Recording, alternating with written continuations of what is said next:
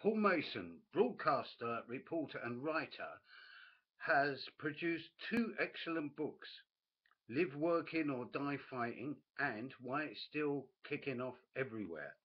These are both highly readable, easy to understand, and a genuine weapon in our intellectual arsenal as we struggle to gain control over our lives, destroy and combat capitalism before it destroys us, destroys us and the planet. And most importantly, it describes working class struggle on a linked worldwide basis. His latest book, Post Capitalism, is published in a few days' time, but I'm afraid, after reading Welcome to a New Way of Living in last week's Guardian, written by him, a summary of his new book, I think after these excerpts we may be in for the biggest anticlimax since Syriza. He waxed enthusiastically about new forms of ownership, lending, legal contracts, a whole business subculture.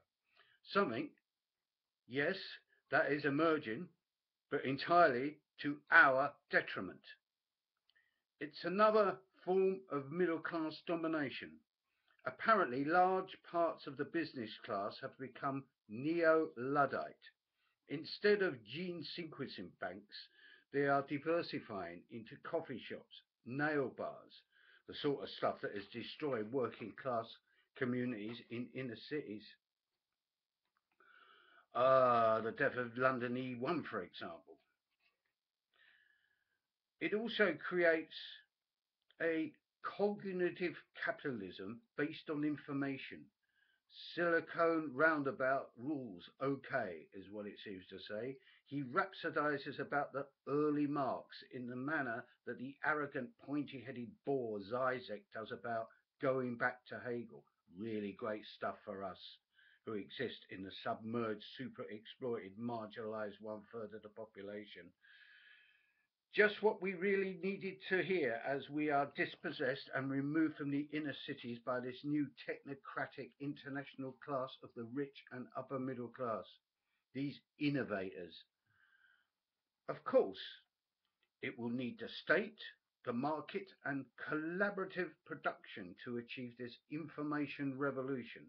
Networks of visionaries. Doesn't really sound something like for the likes of us, does it?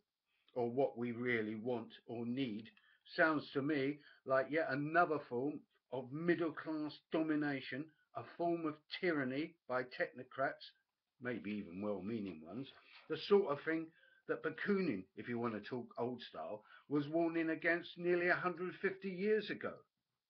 The truth is that the internet, technology, computers have not freed us.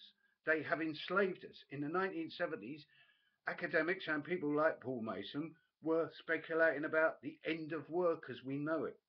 We were to be liberated by technology. Has this happened? It certainly has not. Our class is working longer at meaningless jobs designed to exhaust and impoverish us and keep us busy just for the sake of it. We have, in relative terms, I think, become far more impoverished, both financially and intellectually. As for the never ending successions of crises that have occurred, it's us that reel from the effects, not this so called liberated class of technocrats. We are not going forward into post capitalism. In fact, we are travelling in the opposite direction neo capitalism fused with neo feudalism, from the Islamic State right through to Britain here today. Yes, our task, humanity's task, is not to wait de for deliverance from this section of the middle class, whose main task seems to be removing us from the inner cities entirely without providing us with any kind of alternative deliberately. And they wonder why we riot, while I wonder why we don't riot so much. Sure, we need post capitalism, but on our terms, which in this country means getting rid of the monarchy, the House of Lords, the House of Commons, the state, the entire system. And yes, by revolutionary upheaval. How else is it going to come about? What finally has technology done for us? when for every pair of boots and high heels we put on the streets, facing up to brutal, overwhelming policing, there are dozens of so-called activists, middle-class pseudo-revolutionaries, hunched over computers, ultimately sneering at us, regarding us as primitive and outdated as we struggle for our very existence as a class. I hope the new book, Post Capitalism, doesn't turn out to be the irre irrelevant hodgepodge equivalent to Russell Brand's Revolution, but from what I've seen so far, alas, I believe it will be.